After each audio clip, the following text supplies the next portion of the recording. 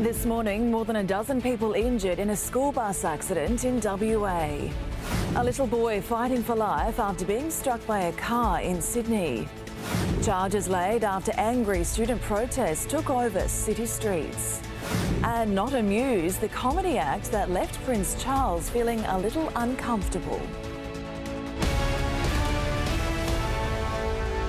This is 10 Eyewitness News with Hermione Kitson. Good morning. First, we have some breaking news out of Melbourne. The Monash Freeway has been shut down amid reports police are in a standoff with the driver.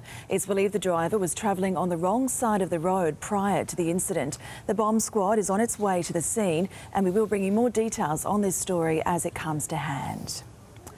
Dozens of people, mostly children, have been taken to hospital after a school bus ran off the road and into a ditch northeast of Perth overnight. Still to come on 10 Eyewitness News, we'll tell you the worst airport for flight delays. Plus in sport with Scott Mackinnon. The Blues try to stamp out their booze, booze culture in the build-up to the State of Origin. That and some good news on Alex McKinnon. Plus more pain at the Giro d'Italia as an Aussie comes out on top again. And a bit more rain will spread east through South Australia today, but I'll have the full national weather details for you after the break.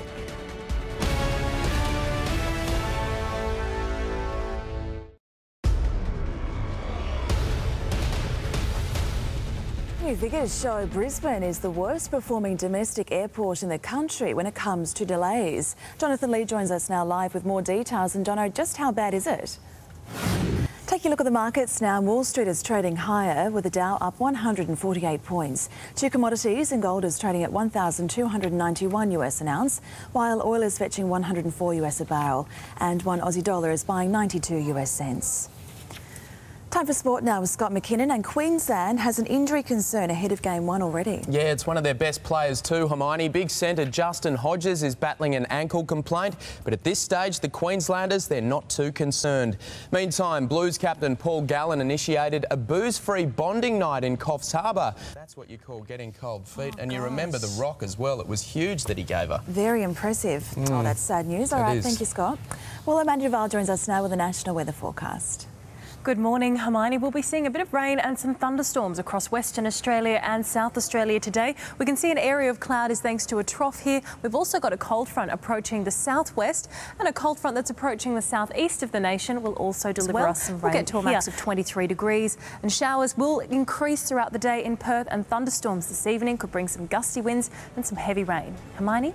Thank you, Amanda. And that is 10 Eyewitness News for now. We'll have updates during the morning. Now, here's the team at Wake Up.